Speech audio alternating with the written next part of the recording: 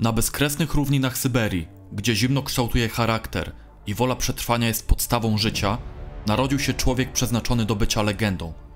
Jego niewiarygodna siła, technika i dominacja w sporcie były tak niezwykłe, że zaczęto nazywać go mianem eksperymentu. Niektórzy wierzyli, że taka dominacja nie jest możliwa dla zwykłego człowieka. Innych zastanawiało, czy może jest wynikiem jakiegoś sekretnego treningu, czy może nawet nieznanych metod przygotowań.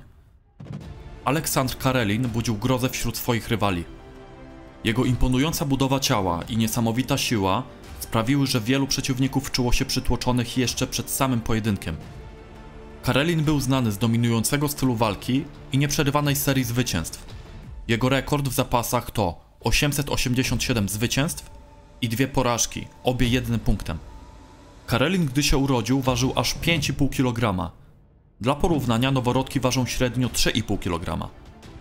Co ciekawe, w latach szkolnych był zapalonym miłośnikiem literatury i matematyki.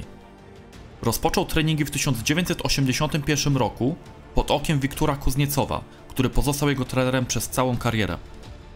Początkowo zaczynał od boksu, podążając śladami swojego ojca. Próbował swoich sił także w podnoszeniu ciężarów, siatkówce, koszykówce, narciarstwie i pływaniu, osiągając znakomite wyniki we wszystkich tych uprawianych dyscyplinach.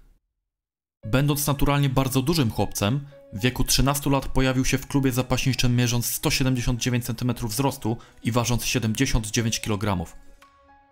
Karelin rozwijał się fizycznie bardzo szybko i od 16 roku życia przez całą swoją karierę rywalizował w kategorii superciężkiej. Zdobył złoto w zapasach w stylu klasycznym podczas zawodów Friendship 84 jako junior. W 1986 roku wziął udział w 14 turniejach, wygrywając je wszystkie.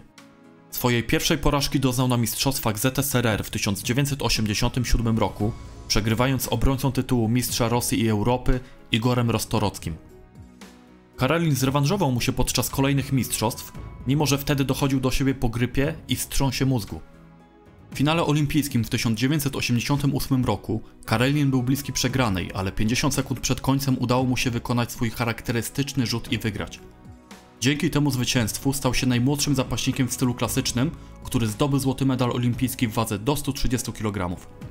Podczas letnich Igrzysk Olimpijskich w Barcelonie Rosjanin pokonał jednego ze swoich rywali w zaledwie 14 sekund. Po 13 latach nieprzerywanych zwycięstw w międzynarodowych zawodach i 6 latach bez utraty nawet jednego punktu, przegrał 0-1 z Rulonem Gardnerem ze Stanów Zjednoczonych w finale Igrzysk Olimpijskich w Sydney. Jego porażka z Gardnerem jest uważana za jedno z największych zaskoczeń w historii sportu. Była to jednak kontrowersyjna porażka. Niektórzy eksperci, w tym fiński były zapaśnik Tuomo Karila, twierdzą, że Gardnerowi nie powinien zostać przyznany punkt i że to Karelin powinien wygrać tamten pojedynek. Osiągnięcia rosyjskiego zapaśnika są niezwykłe i pozostawiają trwałe piętno w historii zapasów. Jest on trzykrotnym mistrzem olimpijskim, dziewięciokrotnym mistrzem świata i dwunastokrotnym mistrzem Europy. Karelin zakończył karierę w 2000 roku. Na początku przygody z zapasami Rosjanina jego trener był sceptyczny wobec dużego, ale niedorozwiniętego chłopca, jednak przyjął Karelina i zmotywował go do ciężkiego treningu, zarówno pod względem technicznym, jak i fizycznym. W rezultacie w ciągu kilku lat zapaśnik przeszedł od zera do 42 podciągnięć na drążku. Jego kondycja i szybkość, połączone z dominacją w sporcie, sprawiły, że zyskał on miano eksperymentu. Na pytanie, dlaczego myśli, że ludzie tak go nazywają, Karelin odpowiedział: Nikt nie jest w stanie w pełni uwierzyć, że jestem naturalny. Najważniejsze jest to, żeby trenować jak szaleniec, naprawdę jak szaleniec. Ci, którzy mnie oskarżają o doping, to ci, którzy nigdy w życiu nie trenowali tak jak ja trenuję każdego dnia mojego życia. Rosjanin każdego dnia godzinami trenował wiosłowanie oraz długie biegi przez las, często z dużą kłodą na plecach. Preferował wyciskanie sztangi nad głowę i używał standardowych 32-kilogramowych ketli do ćwiczeń. Podobno robił 10 powtórzeń martwego ciągu z ciężarem 200 kg. Regularnie wyciskał na ławeczce ponad 200 kg. Tuomo Karil, wspomniany wcześniej w tym materiale, powiedział, że obserwując treningi Karylina, zauważył, że był on w stanie zrobić około 50 podciągnięć w ciągu minuty.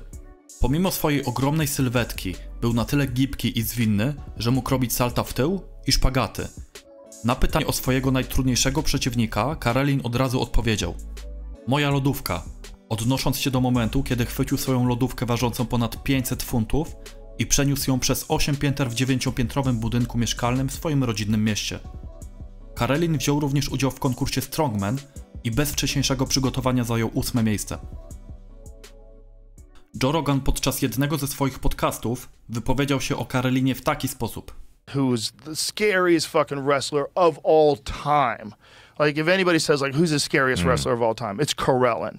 He they used to call him the experiment because his his parent or his parents were like normal size, like kind of tiny, like five seven, and he's a fucking panther, like a human panther, hmm. six foot two, three hundred pounds, and you know what his move is? Yikes. He throws people around. He picks them up and beats them with the earth.